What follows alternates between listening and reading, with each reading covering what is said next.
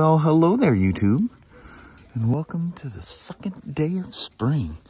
Today is Monday, March 21st of 2022, and uh, just like first day of spring, kind of wet out here. Temperature's comfortable. It's 40 degrees out here. I don't know what it was this morning. I think it was like 37, 36, somewhere around there. But welcome to Monday. Let's roll out. Uh, no, this wasn't planned the uh, war wagon wouldn't start. She turns over fine. She just will not light up. It says there, goes, will not start. Not the battery. Definitely not the battery. Yeah. Dang. Great. Well, I guess it's a good thing we got a second car. I guess it's a bad thing. This is our second car. Yeah. All right, Mama, let's roll. All right. Well, Mama, that was a very wet, very wet drive to work. It was very yucky. That Monday done roll back around again. It did. It is amazing how fast that comes. I know it. But man, it seemed like a nice, long, super relaxing weekend. Yes, it was. It was a very nice weekend. Sasha and Annie, especially Sasha, she's sitting in there going, it's Sunday again, right? Yeah. You could tell she by the heater. was not ready to do her weekday ritual. no. Poor thing. Yeah. Pouring down rain, so she don't want to go outside and run around on her cable. No. She just gets up there and paints herself to the shop wall on that bench. Yeah, she does. Oh, doesn't move. Ugh, I'm gonna get me. wet, I'll melt. I know it. She does not. She needs to get wet. She stinks. yeah. She's a little dusty. Yeah. Well, Mama, Yes, I have. let's roll out of Monday. All righty. All right. Love you. See you. Bye. Love you. All right. Mm, Bye bye bye. now. I let this thing sit on the charger almost all day Friday, and it came up. I showed you it was sitting there at point three. That's usually where they stop. So uh, you can't test them right away. Actually, a lot of times the the tester tells you there's too high of a surface charge on it to let it settle for a, for a bit. So it settled over the weekend. Hooked up the old tester to it, and well, he's getting a new one. Jeez, zero percent health. If if it has any, it's just not completely zero. There's like a little, I don't know what you'd even call that, one or two percent. But the uh, tester immediately says bad and replace. And um, people do it on these, and they're kind of a pain in the butt if you don't have the. You still should always, always back flush through the ground module. Actually, I think they still call them a ZFE on here.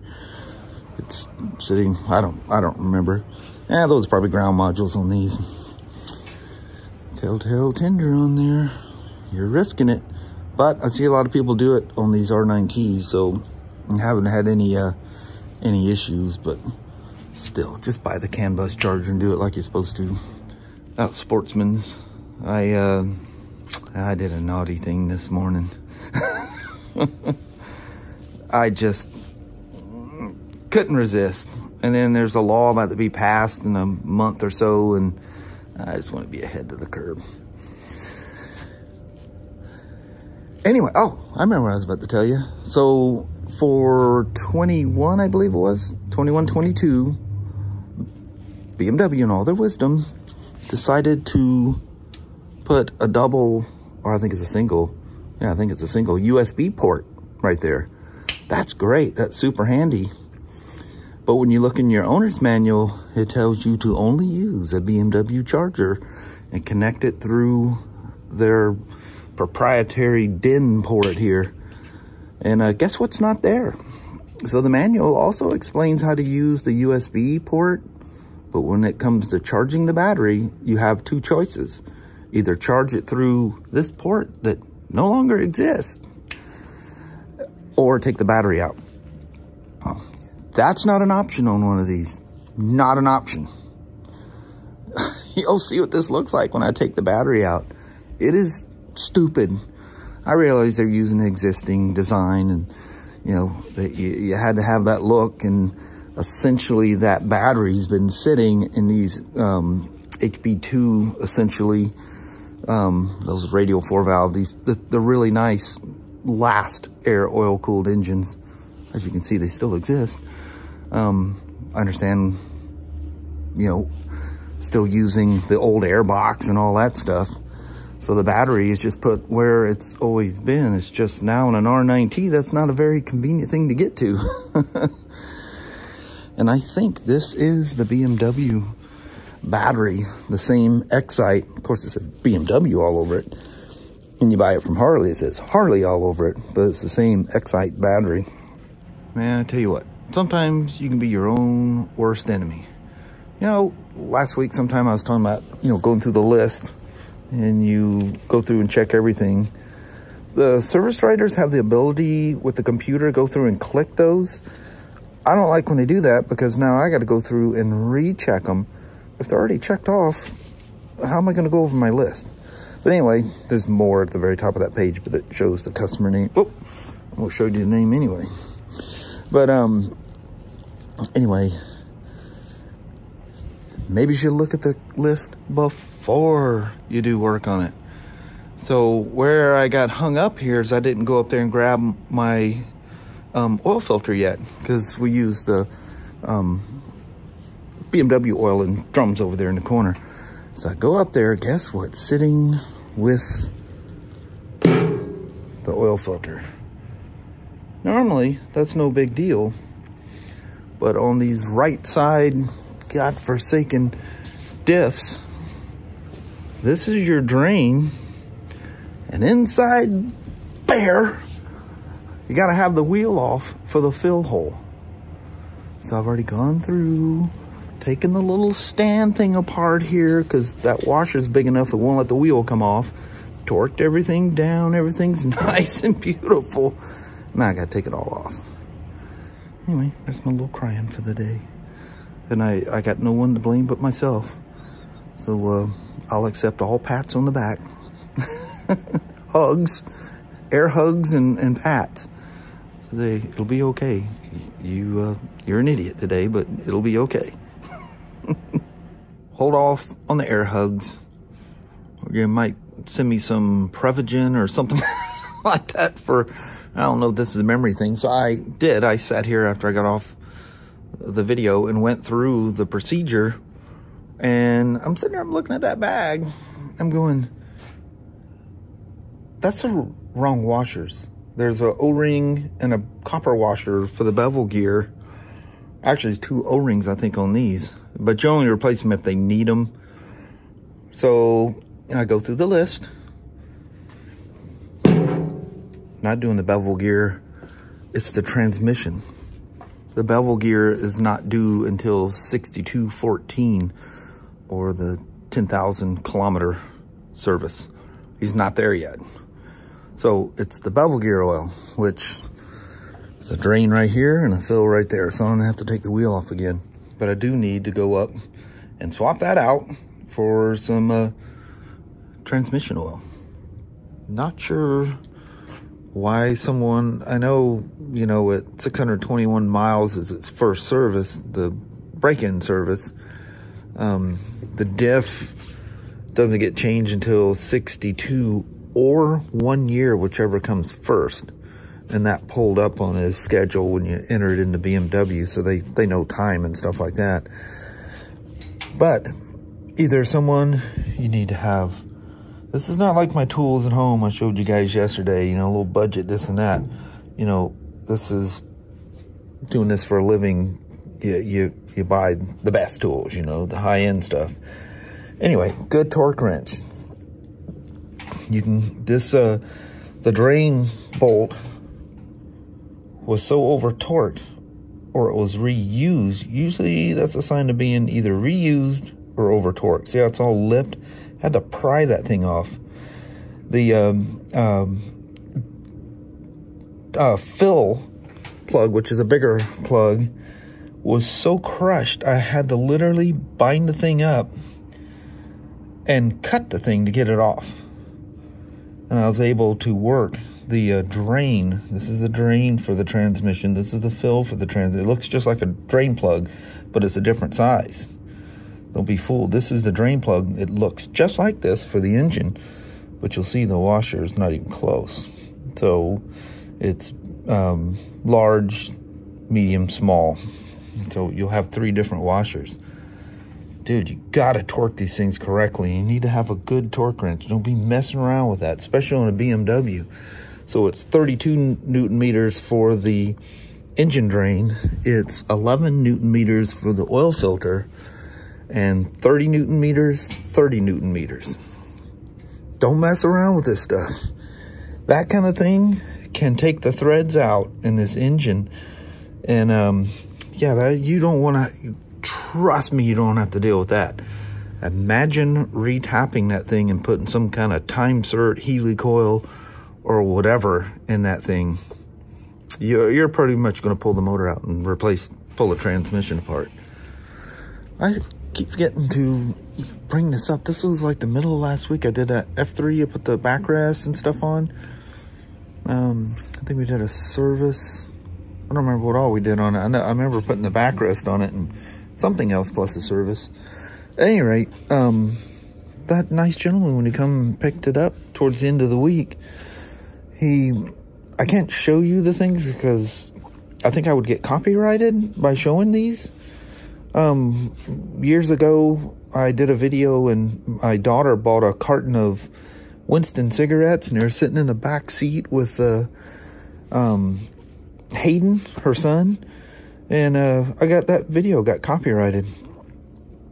Anyway, he got me assortment of, um, like some Blue Nun, um, a couple of breweries I haven't heard of before, and two, um, Guinness. I don't know if the guy knows I'm half Irish or or what, but or he just I think he just went and picked up an assortment of stuff he liked and thought I would like it.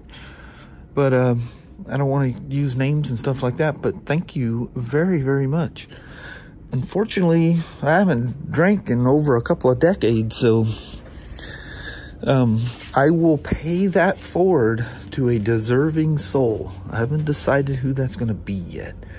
And I gotta be careful. I think some of the people here at the store aren't even drinking age yet. But um, anyway, thank you so very much. That was very awesome of you. And um, I'll let you, I'll let you know um, what I what I done with it. But again, thank you so very much. So I was just picking up my tools and putting them away, and I just one of them is that Snap-on torque wrench, and I was thinking about you know, I was telling you guys, use only the high-end stuff here. Customers, I'm sure, would expect such a thing, especially when you're working on BMWs and Spyders, But uh, I was thinking that torque wrench. I probably spent more for that torque wrench, probably twice the amount of money I spent on every single tool I showed you guys yesterday. I can almost assure you. When I say those things are budget that I have at home, I mean, you add up all that craftsman stuff, it probably adds up pretty good. But yeah, really, that's, that's about as budget as you can go. Because eventually, someday, I'll take all my tools from work when that fateful day comes along that I'm not doing this anymore, I'll have all those tools here. I don't want to spend a whole bunch duplicating high-end tools at home. And, you know, I, I, don't do that for a living at home by any means. It's just tinkering with my own stuff, nice and slow and easy. So the budget stuff gets me by. It wouldn't, some of those things wouldn't work for work tools. Although I do have some of the Pittsburgh stuff that I, that I use for, you know, emergency stuff where I need some oddball thing. But for the most part, yeah, I don't know. That was going through my head. I thought I'd tell you. yeah. I haven't even got to the battery yet.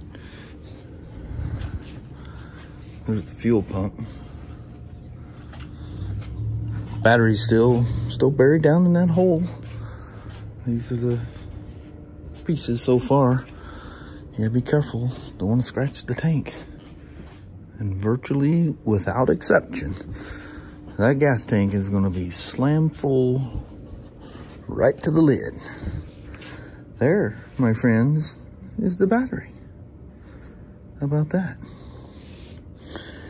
So how he's got his tender lead going up here to this post and it was being grounded underneath this plastic cover and this aluminum frame. That's that's not gonna work. So we're gonna put his tender lead on the battery and I'll reroute it so the fuse is accessible to him. Maybe even under the seat. I can you can get it down in here or something. We'll we'll come up with something something nice and clean. Get that cobbled up mess out of the top. I mean, look, at that's a mess. So we'll fix him up. No wires. It's because they're all tucked in neatly in between the frame. Then I found a little cubby hole for the fuse. Should he need to get into the fuse, she's just hanging right there. None of that cluster waiting for sparks to fly underneath there. There you are. Just gotta do the front brake fluid tomorrow. Uh, run it, make sure the oil's good, and uh, we'll be done. But there we are. Look at this one. I mean, it's we're an hour from sunset, and look how dark it is. Anyway, that deed's done. All right. Mama keeps just shaking her head. She goes, I just don't get it. Don't they all do the same thing? Mm-hmm. Yeah, but differently.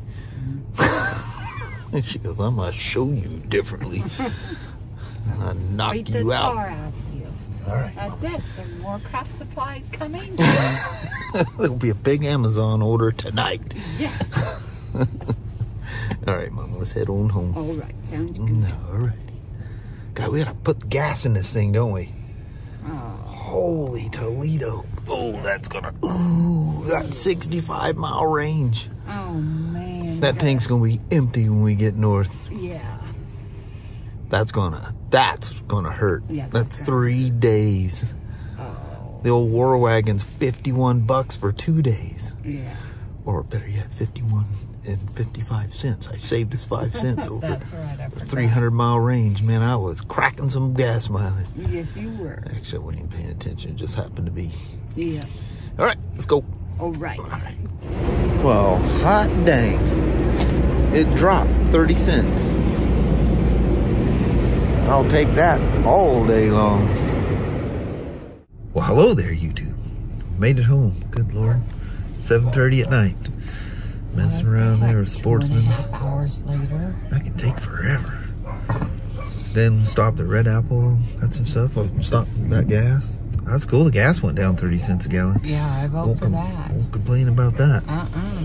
It's Hurt still still high, but Yeah, not as. still took 77, 77 bucks to fill this thing up. Holy moly. That's like he said. Yeah. Bet you go three days on that.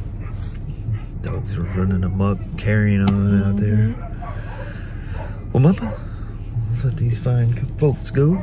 we got some frozables back there. Yeah, I got put the car in the garage, and Got I don't think I'm even gonna do. mess with that old CRV. The damn snot to move. It's late.